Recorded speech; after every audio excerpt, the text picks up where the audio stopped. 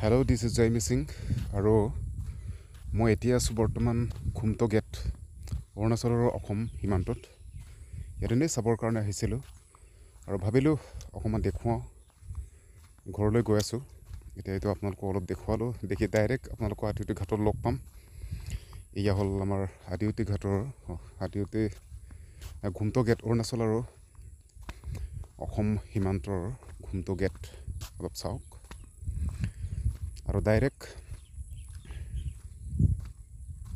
Direct আমি আহি পালোঁহি আদিউতি ঘাট। আদিউতি ঘাট আমি পাৰ হ'বৰ কাৰণে এতিয়া ৰৈ আছে নাৱৰ ওপৰতে উঠি আছে সকলো। বাইক চাইক লৈ পিনে সকলো উঠি আছে ইয়াতে নাৱৰ মাজতে নাৱৰ ওপৰতে। আৰু এয়া সকলোৱে টাউনৰ পৰা লখিমপুৰ টাউনৰ পৰা ইয়াত আহিছে আমাৰ গাঁৱলৈ বুলি আহি আছেগৈ এতিয়া। আমাৰ আদিউতি গাঁৱৰে মানুহ চব চব বাইক লৈ পিনে এতিয়া পাৰ ঘাট এইটো পাৰ। এতিয়া অলপ পাছতেই নাওখন চলিবলৈ আৰম্ভ কৰিব। আৰু এয়াই হ'ল আমাৰ আদিউতি আৰু লখিমপুৰৰ মাজৰ আমাৰ সোৱণশিৰিৰ মাজৰ আমাৰ জীৱন। এনেদৰে নাৱেৰে পাৰ হ'বলগীয়া হয়। এয়া হ'ল সম্পূৰ্ণ দৃশ্য নাওখনৰ এইকেইটা বাইক। আৰু তাত গুৰিয়াল আছে তাৰ পৰা গুৰিয়াল চলাব। এতিয়া নাও এৰি দিছে।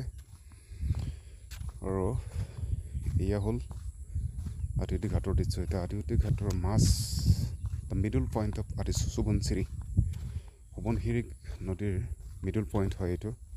আৰু ইয়াৰ নাৱৰ ভিতৰত কিছুমান যাত্ৰী বহি আছে ইয়াতে। আৰু বেছি দীঘলীয়া নহয় সৰু এটা ভিডিঅ' বনালোঁ।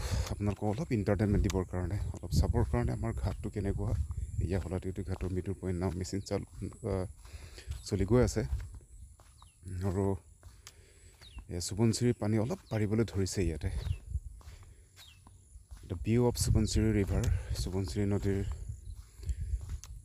দৃশ্য হয় এয়া ভিউ হয় আৰু ভিডিঅ'টো বেছি দীঘল নহয় এয়াই হ'ল আমাৰ মেচিন নাৱৰ সোৱণশিৰিৰ মাজভাগত উপস্থিত হৈছোঁ আমি অলপ পিছতে আমি পাৰ হৈ আমাৰ গাঁৱলৈ পাম গাঁৱত পাম গতিকে ভিডিঅ'টো ইমানেই অলপ আপোনালোকক দেখুৱালোঁ যদি ভিডিঅ'টো ভাল পালে তেতিয়াহ'লে কি কৰিব আপোনালোকে জানেই যে কি কৰিব লাগে